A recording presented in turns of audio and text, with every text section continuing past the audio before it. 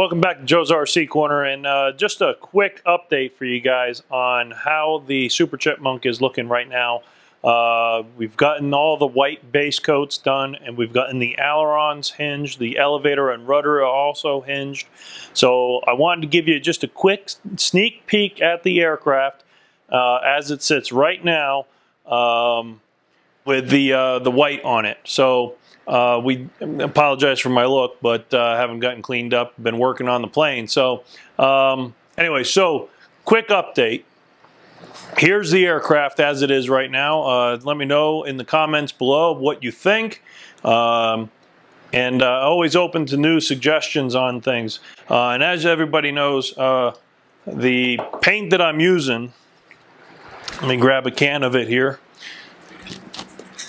Because I've had a couple of questions on what paint I was using, and it's the uh, Rust-Oleum 2X uh, primer and color in one. It works really good.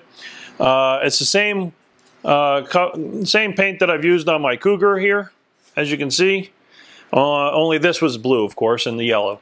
Uh, but it's the same paint. So, and that came out really good. That's what uh, made me decide to go ahead and uh, do use the same paint on this aircraft too. So, without further ado, here she is. Okay, so as you can see, she is uh, white right now, and uh, we are waiting for the white base to fully cure before I start laying tape down. I don't want any of that white to start peeling up when I peel the, the, the uh, tape lines off. One of the other things I still got to work on, uh, the cowl right now is just sitting on top. It hasn't been, um, it's, it's not screwed on yet. Uh, you got to put the hardwood mounts in there still, drill it, and uh, get that positioned properly. So that'll be one of my other steps. But as you can see, the uh, hinges are now done. So here are the aileron hinges. They're moving. They are uh, epoxied in with uh, uh, pinned hinges. So I used a little bit of the um, Vaseline on the hinge points uh, on the pins to make sure that the epoxy doesn't jam those in. Uh, I'll come across to the other side. You see this one is also uh, is all glued in and it is tricky getting these hinges in because they are being epoxied to uh, the foam core and the sheeting and it's not much there to hold that in there. Um, if I did it again I would have uh, put some uh, bigger balsa, balsa wood blocks in here at each point where I was hinging, even in the aileron itself, because this is, again, foam core, uh, basically just cut out of the main core. So uh, if I did it, if I was going to do this again, which uh, probably won't because they don't make this kit anymore, uh, but if I was going to, uh, I would cut this out and put uh, a little bit more meat in there to grab onto. But I don't think they're going to go anywhere. Uh, they seem pretty tough here. I can't seem to pull them out at all. Uh, I used 30 minute epoxy with a little bit of micro balloons in there to make sure that there was enough, a little bit of fiberglass basically mixed in it. So uh, still got to get the servos in there. Uh, the horns are installed here.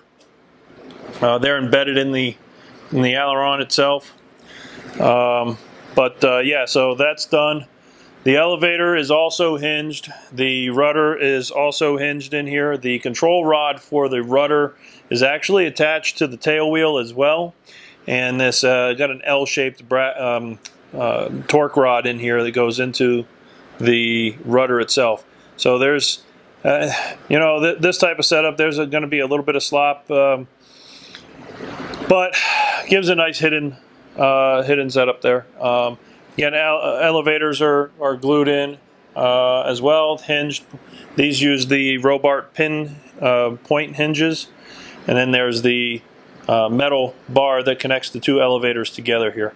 Um, I am extremely happy with how smooth this all came out. I, I, I know it's not it's not perfect. I, I get that, but uh, I'm really happy with it. You can see it's very smooth. It blends in nicely. The canopy still has some work to do, guys. Um, the this is only the temporary glued on, but basically this is how the hatch is going to work here. Um, it's magnetic, so that part works still. Uh, but uh, like I said, there's I've been having some issues with this. Every time I've been playing around with it, you touch it, it starts to crack everywhere. It is fairly old, this canopy, so um, it's yellowed. Looks like it's been sitting, it sat in a garage somewhere for quite some time. So what I'm going to be looking for is I did order from uh, Fiberglass Specialties uh, a new canopy. Uh, however, it's not for the Kwik Bilt SIG kit. It's actually for the Carl Goldberg uh, kit, which was a 60 size airplane as well. However, uh, it was more of a square fuselage, so I'm not sure how it's going to fit. Uh, when I get it, we'll take a look at it and I'll show you how it's all going to work on there. But uh, uh, basically, yeah, that's that's really where where it is at this point right now. So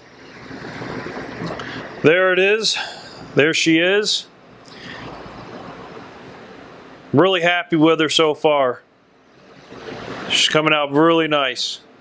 Uh, one other thing I wanted to make sure everybody is aware of what I'm doing here for the color scheme. So this model was based off of uh, Skip Volk's aircraft.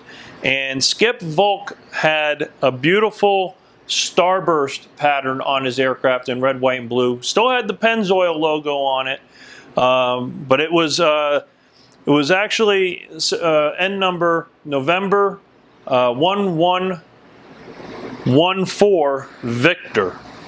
Uh, now, yes, Art Scholl eventually had that aircraft, um, but it originally belonged to Skip Volk.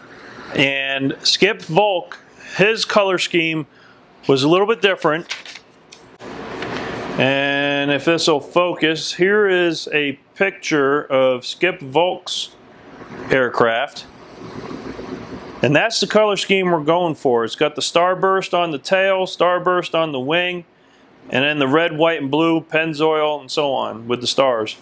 Um, and the reason for that is, here's a picture of my father with Art Scholl with this same airplane. Now this was uh, the, this kit, he built this airplane um, I, am not sure exactly when it was, uh, maybe late 70s, early 80s. Uh, but uh, so he had this air, the same airplane from uh, SIG, and he flew this airplane up in Rhode Island at Quonset uh, Point, uh, and Art Scholl was there, and he was impressed with the aircraft. I'm sure he has tons of stories about it, but yeah. So that's why we're doing this airplane, okay? So if anyone's wondering, that's why I'm building this airplane here. I'm building this airplane for him. Um, we're going to paint it the same colors that he had. And then we'll take you guys along for the maiden flight of it when it's done.